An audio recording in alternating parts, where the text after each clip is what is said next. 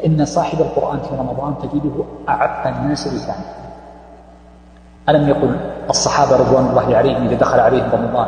قالوا نمكث نلزم يقولون نلزم المساجد نحفظ صيامنا. فيكون المرء أعف لسانه.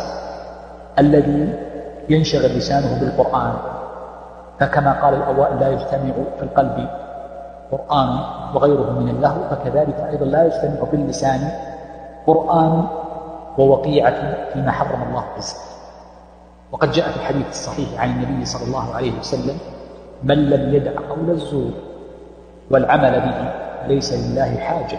في أن يدع صيامه في أن يدع طعامه وشرابه.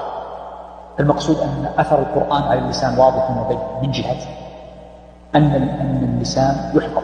وهذا معنى قول ابن مسعود رضي الله عنه يجب أن يعرف صاحب القرآن بصمته إذ الناس يهون بصمته.